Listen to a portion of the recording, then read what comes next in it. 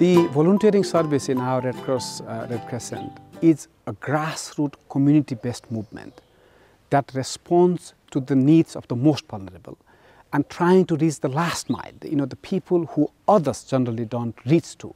That's basically for me is the essence of the volunteering in our Red Cross Red Crescent.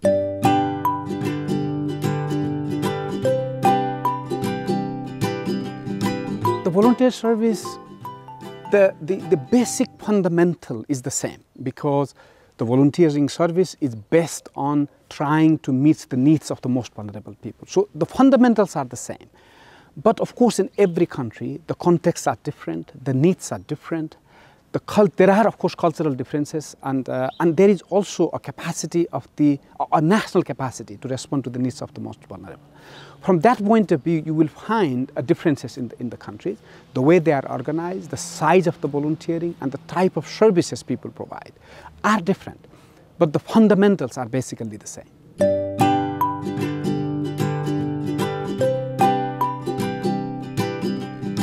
This volunteer learning program is actually very important uh, program for us in the Federation for a couple of reasons. The first is, you know, one of my emphasis as a Secretary General has been that we try to capitalize on the capacities of the national societies or our membership.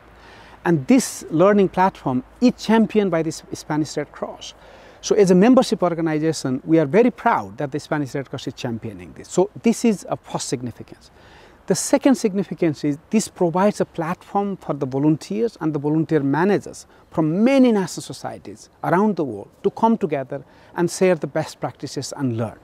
I think the learning is very important element of our volunteering development, but also how do we adapt volunteering so that it fits with the needs of the 21st century, with all the development around the technology, the digitalization, the needs of the volunteers to uh, uh, actually meet their own principles and their own causes and their own beliefs.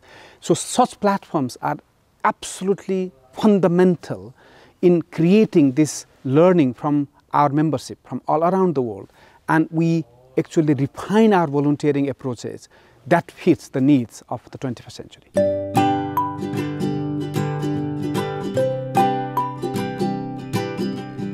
The one thing that we have seen from all the crises now, you know, if we look at the climate crisis or the COVID-19 crisis, the hunger crisis, the conflicts and the violence around the world, one thing what we have seen is there has been a huge underinvestment under at the community level. Until and unless the communities are resilient, until and unless there is that capacity at the community level, we will continue to face this type of problem and we always come with the very expensive response after lives and livelihoods have been already lost. So I think the future of the volunteering would very much be community based and bringing that in investment at the community level to build the community resilience. So people are better prepared, they can mitigate the risk, they are better prepared and they can cope with the impact if the crisis happens.